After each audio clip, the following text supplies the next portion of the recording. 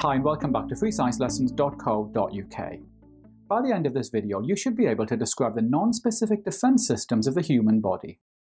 We've already seen that lots of human diseases are caused by pathogens, for example salmonella food poisoning, HIV, malaria and measles.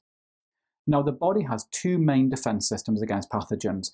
These are the non-specific defense system and the immune system. In this video, we're looking at the non-specific defense system. The job of the non-specific defense system is to prevent pathogens from entering the human body. And there are four main parts. We're going to look at each one in turn.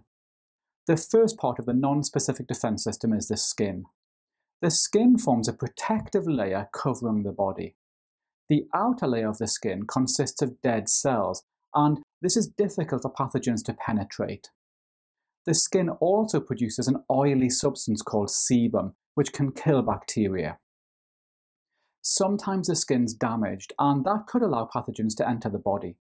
To stop this, the skin scabs over, and we can see that here. Now, there are some parts of the body which are not covered by the skin, and good examples include the nostrils and the mouth. These present openings where pathogens can enter the body. So the body also has defense systems in place to protect us. The nose contains hair and mucus, these can trap pathogens before they enter the breathing system. However, sometimes pathogens pass through the nose and then make their way down towards our lungs. So to stop this, the trachea and the bronchi are covered with tiny hairs called cilia. I'm showing you a picture of cilia here. Cilia are covered in mucus which can trap pathogens. The cilia now waft the mucus upwards towards the throat, where it's swallowed into the stomach. So we're going to finish now by looking at how the stomach defends us against pathogens.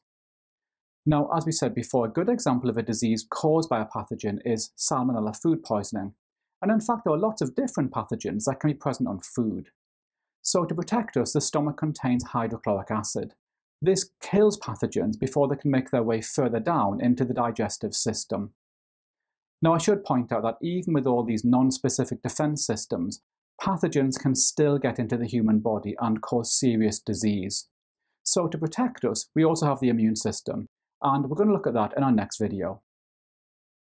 Remember, you'll find plenty of questions on the non-specific defense system in my revision workbook, and you can get that by clicking on the link above. Okay, so hopefully now you should be able to describe the non-specific defense systems of the human body.